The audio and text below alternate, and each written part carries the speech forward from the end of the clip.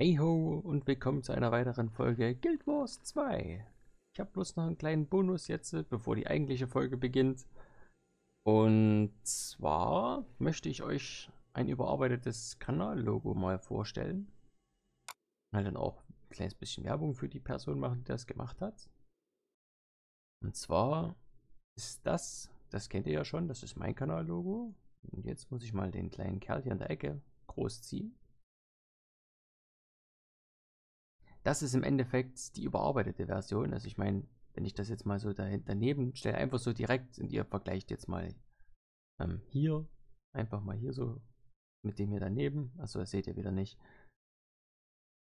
Einfach mal, das müsst ihr euch mal auf der Zunge zergehen lassen. Das linke ist mit Photoshop bearbeitet und das rechte, das habe ich gemalt mit Paint. Punkt. Und wow, der Unterschied ist phänomenal. Das Bild wurde erstellt von SL Picture. Ähm, könnt ihr auf äh, Facebook finden. Einfach eingeben SL Picture. Ich werde auch, wenn ich dran denke, einen Link mit dazu stellen. Und wie gesagt, ich bin so begeistert davon. Das ist einfach, also die, die Qualität davon ist der Wahnsinn. So, jetzt ziehe ich den wieder klein. Jetzt könnt ihr euch nochmal hier angucken. Also wie gesagt, die Details, die Augen, alles so.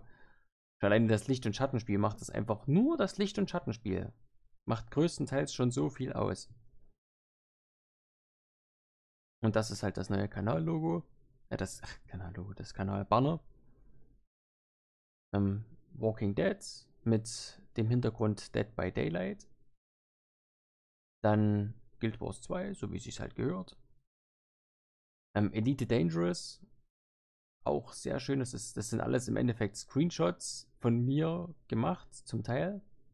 Also halt äh, Steam-Sachen, das hier ist halt von mir gemacht, das ist aus dem Internet rausgezogen. Und die könnt ihr auch dann bei mir in, das, in der Steam-Chronik ähm, mitfinden. Wenn ihr da auf meine Screenshots guckt, würdet ihr auch das meiste davon finden. Und zum Beispiel, wenn wir jetzt hier ein bisschen näher rangehen, das hier unten se sehen vielleicht manche, dass das eine Anaconda ist. Kann man jetzt hier schlecht erkennen. Das war eigentlich mal hier auf dem Bild zu sehen. Und wenn ihr meine Screenshots kennen solltet, würde euch auffallen, hä, das ist doch deine eigene, ähm, wie heißt sie, Python. Das ist meine eigene Adder und das ist meine eigene, ähm, mein Abwurfschiff, mein eigenes. Ja, das wurde dann auf meinen Wunsch halt ein bisschen dort mit eingefügt. Und das passt perfekt da rein. Wer das nicht weiß, dass, die da, dass das meine Schiffe sind, weiß nicht, dass die da nicht hingehören würden, theoretisch. Ja, wie gesagt, dann ist noch Minecraft dabei, mein Kanalname, der auch absolut perfekt aussieht. Ich meine, es ist ultra rangezoomt jetzt, aber das sieht so geil aus, das ganze Bild. Und rechts, wie gesagt, ist Skyrim. Und das ist, also ich, ich bin sprachlos gewesen. Ich habe da zugeguckt, wie dieses Kanallogo entstanden ist und auch dann mein, also das Banner und das Kanallogo habe ich zugeguckt, wie das entstanden ist. Und ich habe nur da gesessen, Maul auf dem Stehen gehabt und dachte mir so, wow, unbeschreiblich. Und wie gesagt, ich verlinke euch das unten in der Beschreibung. Ähm, was gibt es noch Neues zu sagen? Ja, die neue lebendige Geschichte ist halt Hausen. Ich habe das angefangen mit der Gilde aufzunehmen.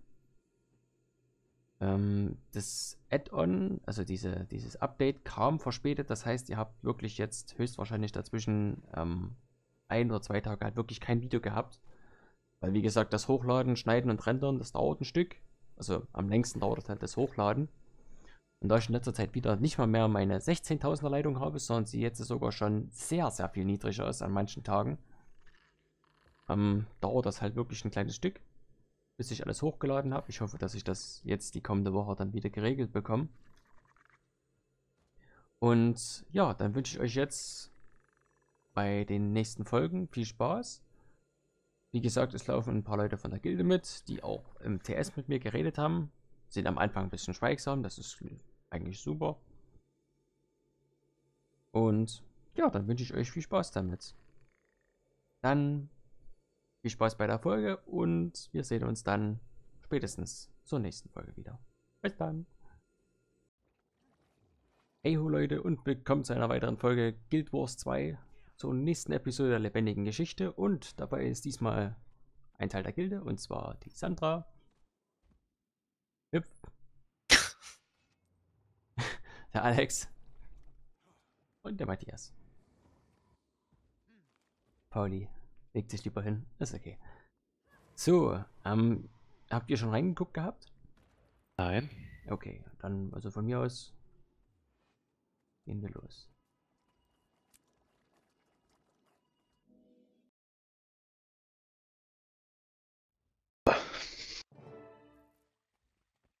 Da seid ihr ja. Der erlauchte Anführer der Drachenwacht. Willkommen. Ich weiß eure Worte zu schätzen, Eure Majestät, aber ich fürchte, ich bin meiner Führungsrolle in letzter Zeit nicht gerecht geworden. Ich weiß nicht, wie ihr das immer schafft. Ihr müsst euch um ein ganzes Königreich kümmern. Ich schaffe es nicht einmal eine Handvoll Leute auf ein einziges Ziel zuzuführen. Es ist eine fordernde Aufgabe. Aber um ganz ehrlich zu sein, manchmal beneide ich euch um euer vorbei? unkompliziertes Leben. Hier geht es immer nur um Politik und man muss zwischen den Zeilen lesen. Man tut etwas für eine Person und drei andere hassen einen dafür. Das kann sehr unübersichtlich werden. Aber ihr, ihr schlagt nur unermüdlich auf Dinge ein, bis sie euch nicht mehr im Weg stehen. Manchmal wünschte ich, hier würde es genauso laufen. Nun, was kann ich heute für euch in Stücke schlagen? Ich bin überzeugt, dass ein Angriff des Weißen Mantels Rettet kurz euch! bevorsteht. Und ich muss bestimmte Vorkehrungen für die Sicherheit von Götterfels treffen. Die Tatsache, dass ihr nicht näher auf diese Vorkehrungen eingeht, legt die Vermutung nahe, dass sie etwas ungewöhnlich sind. Ihr redet nicht mit uns, das ist ja doof. Was haltet ihr von diesem Garten, Kommandeur? Er ist äh, wundervoll. Ja, nicht wahr? Um solch ein Wunder zu erhalten, ist ständige Arbeit nötig. Manchmal schleicht sich Unkraut ein. Und manchmal muss man das jäten. Sonst überwuchert es den Garten irgendwann. Verstehe. Ich habe die Minister unter dem Vorwand eines normalen Treffens hierher bestellt. Aber was ich zu sagen habe, werden viele als schockierend empfinden. Eure Anwesenheit hier wird die Gemüter beruhigen. Also mischt euch bitte unter die Leute und bleibt wachsam. Jeder Hinweis auf Einmischungen des weißen Mantels, den ihr finden könnt, wird die Notwendigkeit meiner Entscheidung verdeutlichen. Ich werde mich etwas umhören. Ach, und Majestät, ihr habt da ein Unkraut übersehen. Okay. Das sieht vielleicht so aus, aber das ist eine kreitanische Faltenlilie. Sie wird bald blühen und aus ihren Blütenblättern lässt sich wunderbare Farbe gewinnen. Sie ist meine Lieblingsblume. Sie verbirgt ihr wahres Potenzial vor den meisten und dann erblüht sie zu etwas Großartigem. Viel Glück, Kommandeur. Ich spreche nochmal mit ihr.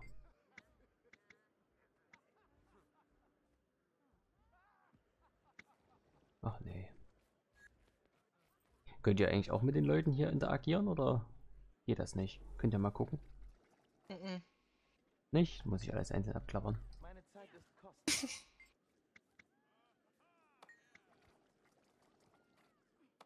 Ministerin Estelle. War die nicht auch irgendwo mit Kaudekus am äh, in der Zerre? ja, eigentlich schon.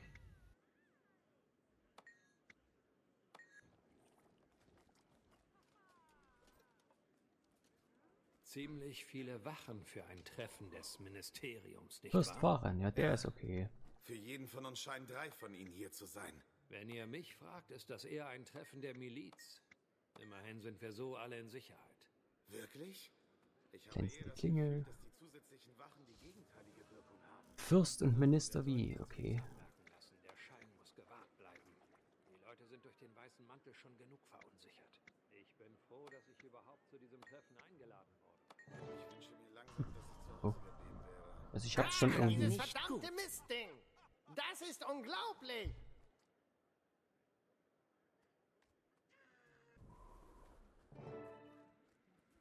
Äh. Er brennt irgendwie. Oh Mist! Nicht schon wieder! Was ist Ein passiert? bisschen. Der weiße Mantel? Ganz ruhig, ganz ruhig. Ist schon das dritte Mal diese Woche, dass der alte Kerl nicht läuft. Ah, ich muss Manifestdaten von Hand eingeben, wenn er außer Betrieb ist. Könntet ihr... könntet ihr ihn in Ordnung bringen, während ich mich um die Toraufzeichnungen kümmere? Klar. Wunderbar. Und beeilt euch bitte. Ich bekomme schnell Krämpfe in den Händen. Das ist eine eigenartige Reparaturmethode. Was ist das denn? Er ist manchmal etwas schwierig, aber mit der Reparaturschnittstelle oder Repaschni, die ich erstellt habe, sollte sich schnell herausfinden lassen, was zu tun ist. Meint ihr, der Begriff wird sich durchsetzen? Ich hatte auch überlegt, Reparatur und Anzeige zu Anatur zu kombinieren. Oh, so ausgesprochen klingt das nicht gut. Ups. Ziemlich schwer festzustellen, was er gerade macht.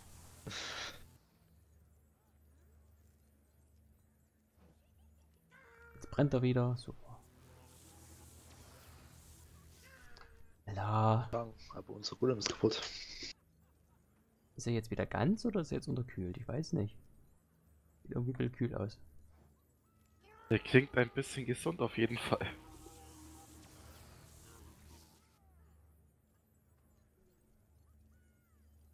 Weiß es halt nicht, ob er jetzt ganz ist.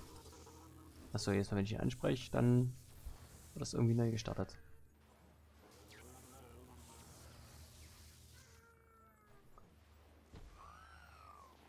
Das sieht gut aus.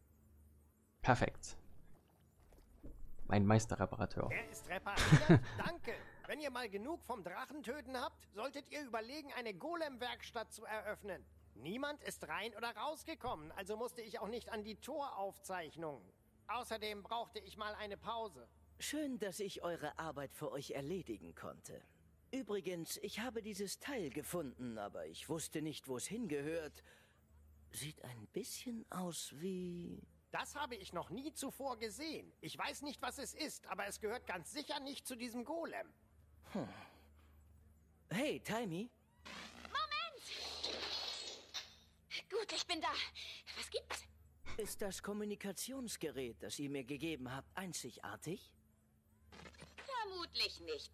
Meins ist zwar das mit Abstand beste und fortschrittlichste, aber es gibt noch andere da draußen. Moment, wieso fragt ihr danach? Ich habe ein Gerät gefunden, das aussieht wie ein Kommunikator. Wenn es vom weißen Mantel hier platziert wurde, könnten Sie uns belauschen. Und ich vermute, es gibt noch mehr von den Dingern. Wenn ihr wollt, kann ich über euren Kommunikator ein Hochfrequenzsignal aussenden, das euch hilft, andere Kommunikatoren in der Nähe zu finden. Na dann los. Ich werde alles einsammeln, was ich finde, und es dann der Königin zeigen. Oh, lasst sie bitte wissen, dass ich geholfen habe. Ja, oh, ausgetappt. Ups. Jetzt ist bloß die Frage. Achso.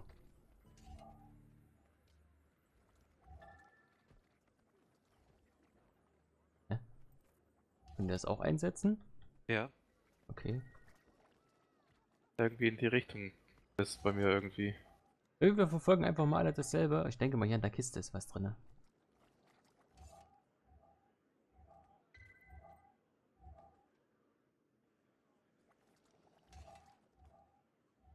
Ich bin überrascht, dass die Familie Wie den Mut hat, sich zu zeigen, nach dem, was die Tochter getan hat. Oh, seid nicht so grausam. Minister Wie würde niemals seine Pflichten vernachlässigen. Die Ja, Geräte aber haben Verrat ein Sicherheitssystem? Das ist schon Sehr eine große Schande, die er da zu tragen hat. Ja, aber Ja, wir welche sollten Richtung muss ich denn jetzt? Verfehlungen ignorieren und stattdessen sein Pflichtbewusstsein Ah, hier, bewundern. hier blinkt eins. Okay, Also ich habe eins gefunden. mir ist ein Gegner. Okay, ich, ich töte ihn. Ah, ein Elementar. Das scheint ausreichend, um die Pläne der Königin in die Tat umzusetzen. Ich sollte sie ihr geben. Hast du's? Ja, Gut. Ja, dann cruisen wir mal zur Königin und geben alles ab.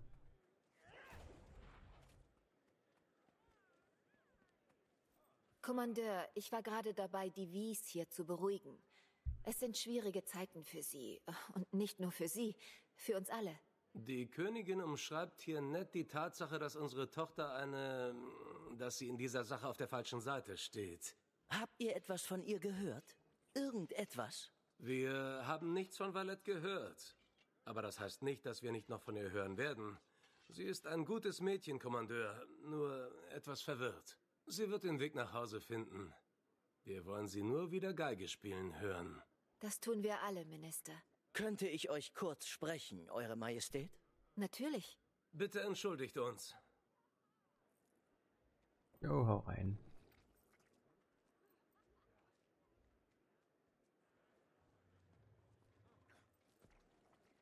Wird hier aufgezogen, einfach so wie so ein RPG. Ich habe überall im Hof diese Abhörgeräte gefunden. Sie könnten dem weißen Mantel gehören. Danke, Kommandeur. Genau solche Beweise brauche ich, um meine Sicht der Lage zu untermauern. Wie es scheint, bietet sich uns hier eine günstige Gelegenheit. Wenn ihr mich entschuldigen würdet, ich habe eine Rede zu halten. Jetzt rennt die wieder vor.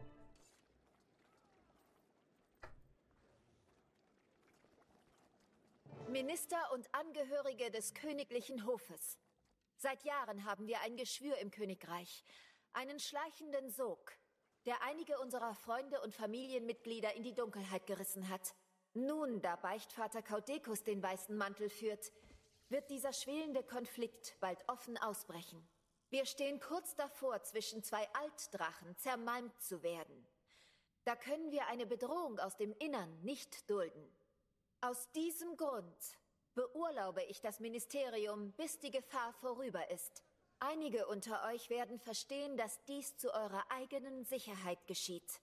Andere werden merken, dass ich sie hier festgesetzt habe. Weit weg vom Netzwerk des Weißen Mantels. Das könnt ihr nicht tun. Ich lasse mich doch nicht wie einen Dolljak behandeln, den man in einen Stall sperren kann. Ich bin kein Verbrecher. Ihr behauptet, das geschieht zu unserem Schutz. Schutz wovor? Ich frage eher, wer wird uns vor euch schützen?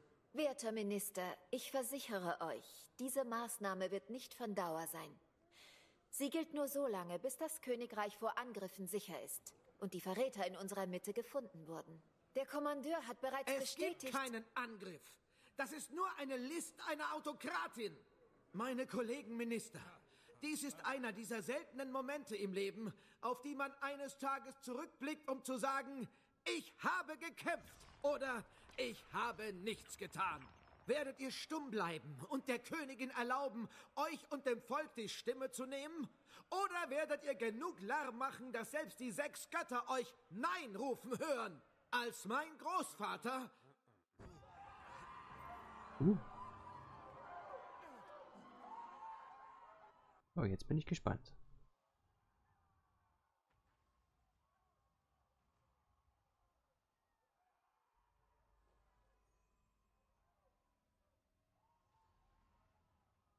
What? Seit wann kann die zaubern?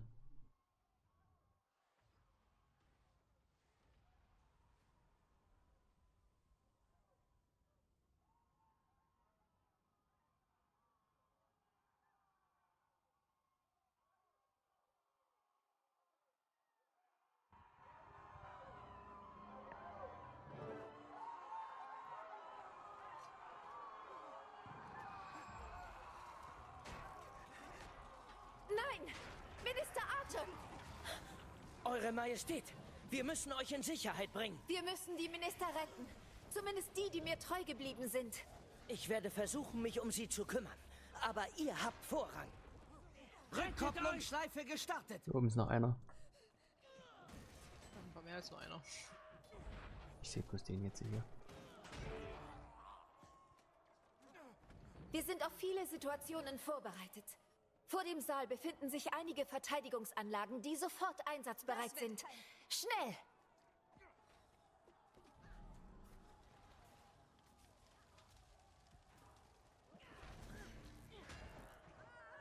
Gebt mir Deckung, während ich eine Verteidigungsbarriere errichte.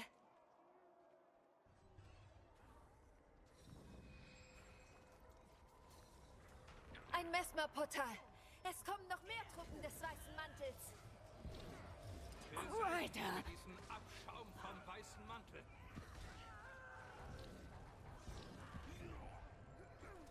Rückkopplungsschleife gestartet.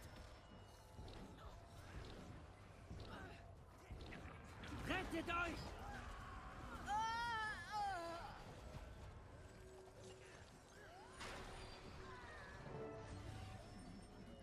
Rückkopplungsschleife gestartet. Ärgerlich.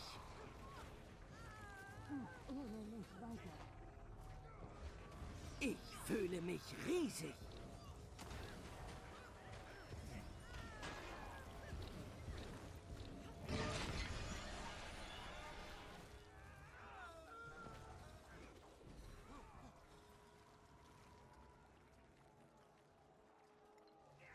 Großartig.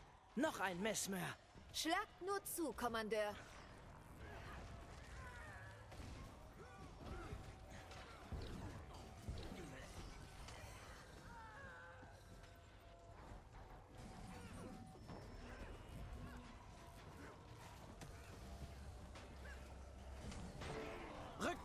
Rückkopplungsschleife gestartet. Kräftigend.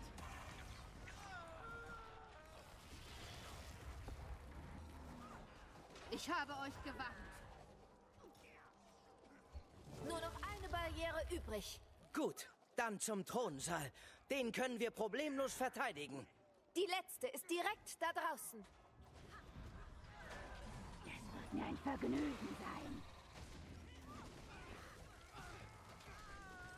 Ihr sollt leiden. Ich bin nahezu unbesiegbar.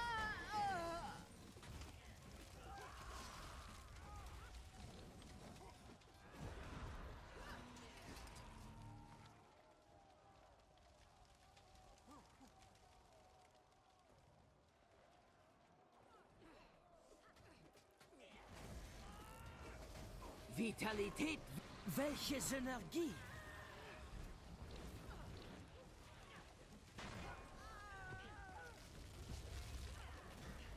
Kreider!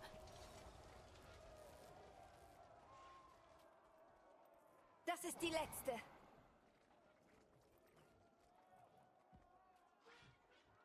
Ah, ah, ah, Jenna, das reicht. Meine Kollegen Minister, schließt euch mir an und helft dem weißen Mantel Kreiter von dieser unrechtmäßigen Herrscherin zu befreien. Oder stellt euch auf ihre Seite und lasst euch von meinem Feuer richten. Estelle, was für eine Überraschung. Wer hätte das kommen sehen? Ihr? Vielleicht ihr? Ihr vielleicht? What? Was macht ihr die hier? Und ihr? Wart ihr überrascht?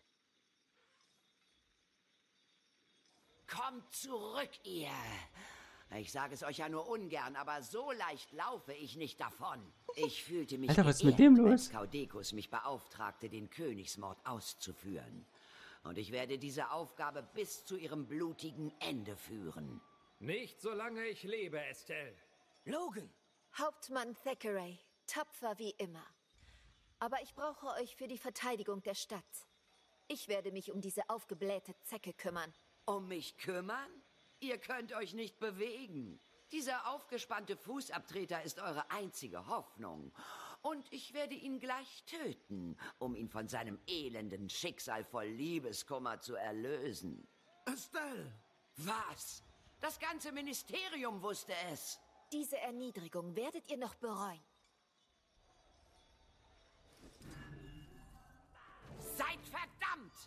Auf die Schlampe, los, los, los. Erhebt euch! Rückkopplungsschleife gestartet. Ein Glück waren wir uns alle einig.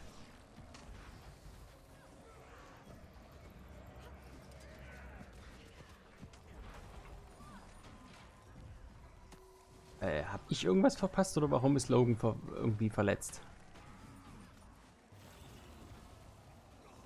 Äh, vielleicht weg zum Angriff? Ich weiß nicht, da kam mir hier gerade so rausge rausgehumpelt, so als ob er sich gerade von der Nacht irgendwie. Na, ist egal.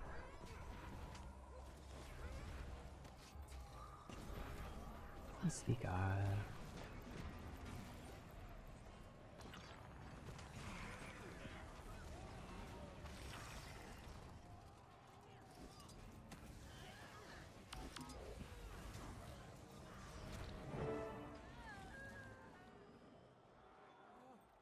Ja, da ist sie down. Das dürfte es also gewesen sein. Vorerst. Das. Das war eine beeindruckende Vorstellung, Eure Majestät. Ja, das war es. Wie hat es euch gefallen, Probleme zu lösen, indem ihr auf sie einschlagt? Ich wollte niemals eine Waffe gegen einen meiner Untertanen erheben, aber für euren Lebenswandel scheint es mir sehr passend zu sein. Ich reserviere euch einen Platz in der Drachenwacht, falls ihr euch je entscheiden solltet, abzudanken. Sehr freundlich. Nun, wie ist die Lage außerhalb der Stadt? Die Armee des Weißen Mantels rückt vom See hervor, aber wir wissen nicht genau, wie stark sie ist. Ich bin unterwegs, um meinen Kommandoposten bei der Doric-Anlegestelle einzurichten. Es ist schön, euch wieder auf den Beinen zu sehen. Ich treffe euch dort. Sehr gut. Wir können eure Hilfe gebrauchen. Sprecht mit Leutnant Forres auf dem Lissa-Platz. Ich werde dafür sorgen, dass ihr auf das Schlachtfeld gelangen könnt. Logan, bitte gefährdet eure Genesung nicht, indem ihr etwas Dummes tut, wie zum Beispiel zu sterben. Kommandeur, ich danke euch. Und immer schön nach Unkraut schauen. Okay. Fazit von euch? Ah, Ja, ganz gut. Anerkennung. Ja, ganz gut. Ihr müsst keine Angst haben, die Leute beißen nicht.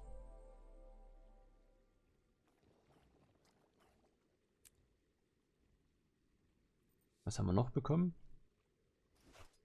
Oh, ich habe eine Farbe bekommen. Ja, toll. Wartest du jetzt hier eine High-Class-Farbe oder was? Nee, braucht die jemand? Ja. Schön. Tauschst du sie ein? Gegen was? Ich weiß nicht, gegen irgendeine teure Farbe? Ich habe keine Farbe einfach so in meinem Gepäck. Warum nicht?